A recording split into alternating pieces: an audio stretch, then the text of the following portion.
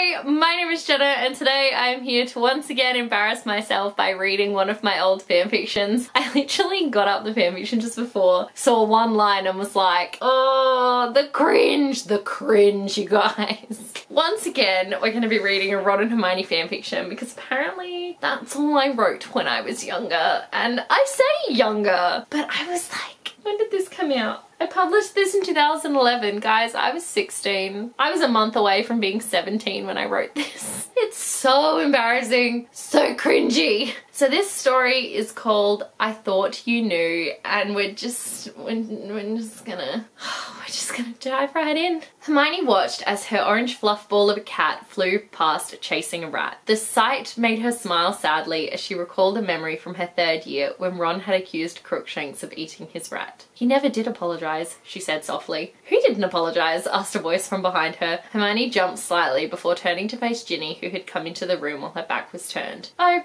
no one. Okay, it's really bugging me that like my dialogue is not on a different line, that it's all in one paragraph. It's bugging me a lot. Ginny shrugged and walked over to the bed on which her trunk lay open and empty. I wish I could just use magic to pack my trunk, she exclaimed. Packing it by hand just takes forever. Hermione smiled again. She'd had her own trunk packed an hour ago. Ginny looked up and caught Hermione's smile. Mum says that if you're done packing, she'd appreciate some help in the kitchen. Where I assume they're at the Weasleys. When is this even set? I'm confused. It's clearly after third year, but I'm confused as to when this is actually set, but sure. Sighing, Hermione stood up and began to make her way down to the kitchen. She paused outside because she could hear voices coming from the room. She realised it was only Mr. and Mrs. Weasley, so she entered the room after a brisk knock. Uh, were you eavesdropping? Were you you, I uh, okay. Ah, Hermione, would you be able to help me peel these potatoes? I asked the boys to do it, but they disappeared as soon as I mentioned the word help, Mrs. Weasley stated as she pointed her wand at a pot of water. But doesn't make any sense. That sounds like them, said Hermione in a slightly sarcastic tone. Of course I'll help, Mrs. Weasley. Thank you, dear. Mrs. Weasley turned back to her husband and resumed the conversation they were having before Hermione came in. Hermione took the peeler in hand and turned her attentions to the bowl of potatoes she had in front of her, but soon found herself daydreaming about being back at Hogwarts. She was looking forward to seeing her friends again and couldn't wait to hand in her transfiguration essay that she had been working on over the holidays. Looking out of the window, Hermione could see Fred and George denoming the garden. She wondered where Harry and Ron were when suddenly a ball of mud hit the window. The noise startled Hermione who slipped and cut her finger on the peeler. Okay, number one, I don't, I didn't even a little bit spell the word denoming correctly, but like also it's not a real word, so how would I know? Second of all, Hermione's like, I can't wait to see all my friends again. But also her only friends are Harry and Ron and they're right outside the window, so not sure what she's gone about there. Those boys, began Mrs. Weasley angrily as she came over to stand next to Hermione at the window. I swear I don't know what to do with them. She glared at them before turning to Hermione. Are you alright? Hermione held up an injured finger. Just a cut, Mrs. Weasley. I'll be fine. Mrs. Weasley waved her wand and Hermione's cut healed, leaving only a small scab. I don't actually think that's how magic works, but Okay, why don't I finish up here? You can go outside and attempt to talk the boys out of their mud fight. Hermione looked out the window at Harry and Ron who were pelting the twins with balls of mud. She doubted they'd listen to her, so she went upstairs to wait for Ginny to finish packing. Are you okay, Hermione? You seem kind of spaced out. Hermione tore herself away from the window where she had been watching Ron fly around on his broom to face Ginny who was standing with her hands on her hips. I'm fine, she said with a forced smile. You may as well just admit it. Admit what? That you like Ron, Ginny exclaimed. Oh god. What? Hermione could feel her cheeks beginning to go red. That's ridiculous.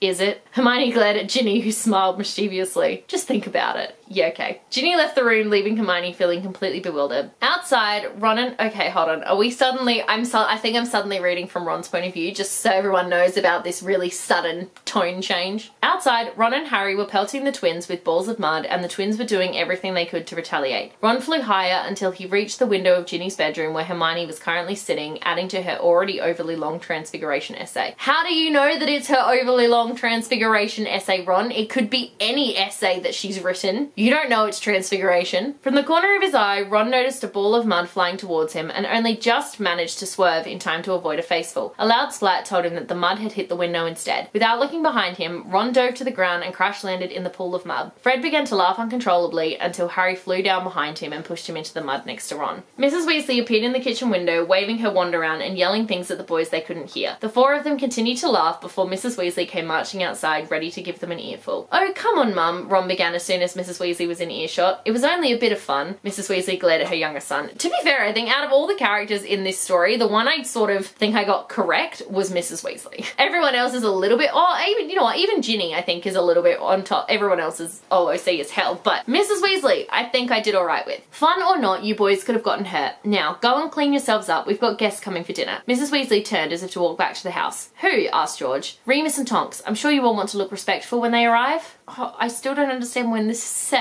Is it set during Half-Blood Prince? It must be, but they weren't they weren't dating until the end of Half-Blood Prince and then Harry and Ron weren't going back to school in Deathly Hallows. When is this set? The four boys shuffled awkwardly, mumbling replies Mrs. Weasley couldn't quite hear. Mrs. Weasley nodded briskly before turning on her heel and returning to the house. Harry, Ron, Fred and George followed her before Mr. Weasley stopped them from going inside. You don't want to go in there covered in mud, he said quietly. She'll have your heads. Harry and Ron exchanged a look. If we can't go inside, how are we meant to get cleaned up? asked Fred. Here. Mr. Weasley waved his wand and the mud disappeared. He smiled at his handiwork before stowing his wand into his pocket. Thanks, Dad, cried the twins together. Don't mention it. Now get inside and stay out of your mother's way. The twins hurried inside and bounded up the stairs and out of sight. Harry and Ron exchanged another look before climbing the stairs to Ron's attic bedroom. Once inside, Harry sat on his bed and stared at Ron. What are you staring at me for? Harry raised his eyebrow. Okay, okay, so I started the mud fight. Who cares? It was fun, wasn't it? I couldn't help but notice you continuously flew past Ginny's bedroom window, Harry began. No, no, no, I'm sorry. Harry never would have noticed that. He doesn't notice anything.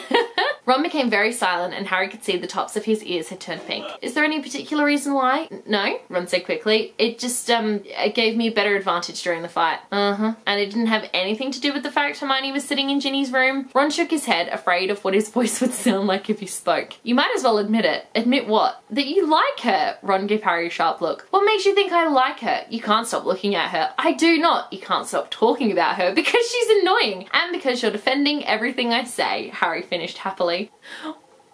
Sure. Ron stopped replying and looked down at his feet. After a few minutes, he looked up and fixed Harry with a stare. It's not that obvious, is it? Aha! Harry shouted. I knew it. I knew you liked her. Shh!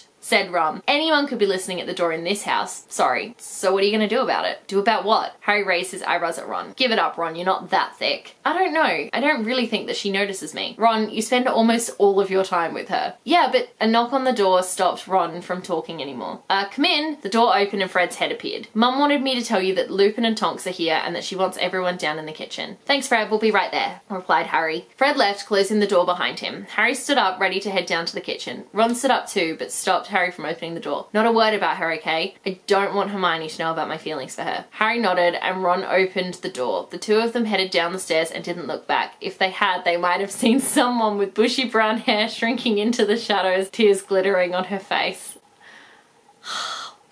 Okay. What's up with Hermione? Harry asked as he lifted his trunk onto the Hogwarts Express. She hasn't spoken to us since Lupin and Tonks stayed for dinner. In case you didn't notice, there was a pretty big time jump there that I didn't mark at all, so that's fun. I don't know, Ron replied. Do you think she heard what I said about her? Harry shook his head. If she had, wouldn't she be hanging out with you more? Maybe not. Girls are a strange species after all. Harry laughed and stepped onto the train. Come on, Ron, let's find a compartment. Ron followed and the two of them searched the train for an empty apartment. An empty apartment? I think I meant an empty compartment. They couldn't find one but managed to join Luna Lovegood and Neville Longbottom in theirs. Hey guys, said Harry as he settled into his seat. Did you have a good Easter? Oh.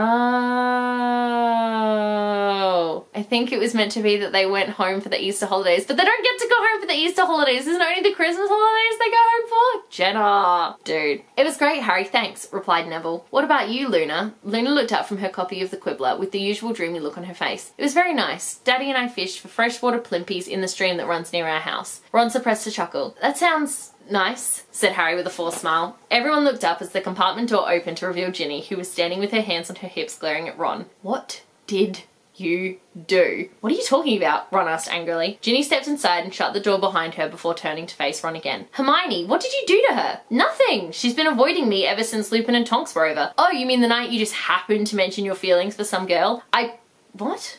Ginny glanced around the compartment, taking in Harry and Neville's shocked faces before replying. Hermione came up to your room to tell you something that night, but she overheard you and Harry talking about your feelings for some girl and she got all upset. I was only able to coax it out of her about five minutes ago. That's ridiculous, Ginny. Why would Hermione get upset about me having feelings for Ron stopped, the tops of his ears pink for the second time in a week. For someone. Because she likes you, Ron! A silence fell over the compartment. Harry and Neville were looking back and forth between Ron and Ginny, wondering which of them would speak first. Ron was staring at Ginny, his mouth open in shock, and Luna was reading her Quibbler, completely unaware of everything that was going on around her. Hermione likes me? asked Ron in a quiet voice. Ginny shifted uncomfortably on the spot. I thought you knew. Ron jumped up and yanked open the compartment door. Where are you going? Ginny yelled after him. Ron ignored her and hurried down the train, glancing into every compartment looking for Hermione. He couldn't believe it. She liked him. He hoped he hadn't blown his chance. This is so not Ron and Hermione. Oh my god. Up ahead, he noticed a tangle of bushy brown hair emerging from a compartment. He called her name, but she didn't hear. He sped up until he reached her. Putting his hand out, he grabbed his, her shoulder and whirled her around. I'm sorry, wait, aren't Ron and Hermione prefects by this point if the story is set when I think it's set? Confusion. Ron, she explained angrily, what are you doing? Trying to make something right. Hermione stood with her hands on her hips. Is staring at me meant to make it right? Ron chuckled. Look, Ron, I really can't do this, okay? Good luck with whomever the girl is. Ron smiled sadly. I'm sorry that you heard that, Hermione, but you didn't hear all of it. I heard plenty. I heard you say that you had feelings for someone and that you didn't want me to know about it. I didn't want you to know about it because I was afraid you didn't feel the same way. Why would you care how I felt about it? Hermione stopped. She looked up and met Ron's eyes. She could see the hurt she had caused him and felt bad. No, Hermione, you don't have to feel bad about this. Oh my god, this is the biggest case of misunderstanding. This story is cringe and makes me angry at everything. I thought you knew, he whispered, his eyes on his trainers. How long? Longer than I care to think about, Hermione smiled. She reached out and took Ron's hand. Oh god, here we go. Me too. Ron brought his lips down to meet hers. As they kissed, they were vaguely aware of people coming up behind them, but they didn't care. All that mattered was each other. When they broke apart, they smiled at each other until a voice startled both of them. About time, they turned to find Harry and Ginny staring at them. Did you plan this? asked Ron. No, replied Ginny. All we did was made you realize how you felt about each other. The rest you did on your own. Hermione glanced up at Ron, who placed a kiss on her forehead. Harry and Ginny smiled. Wait, Harry and Ginny dating by this point? No.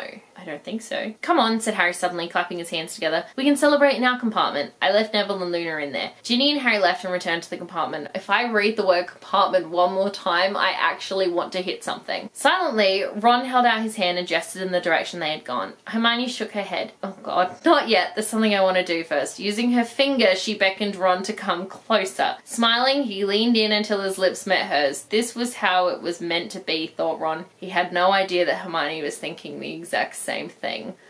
Mm. Sometimes I think the stories are getting better and then I read those and I realize they're not. Thank you guys so much for watching. Let me know in the comment section below what you thought of my fanfiction. It was terrible, but let me know what you thought because I would absolutely love to know. If you like this video, be sure to give it a huge thumbs up and don't forget to subscribe to my channel so you don't miss a thing. Stay random. Bye.